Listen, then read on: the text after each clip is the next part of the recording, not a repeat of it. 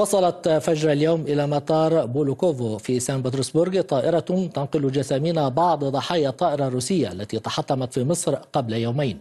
وقالت وزارة الأوضاع الطارئة الروسية إن الطائرة نقلت جسامين 144 شخصا. قتلوا جراء الحادثة.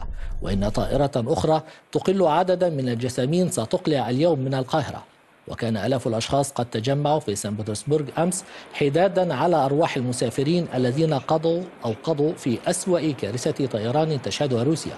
من جهة أخرى أعلنت معظم شركات الطيران طيران منطقة الخليج تحديدا تغيير مسارات رحلاتها لتحاشي الطيران فوق شبه جزيرة سيناء المصرية في خطوة مماثلة لشركة الطيران الألمانية لوفتهانزا وشركة إير فرانس الفرنسية.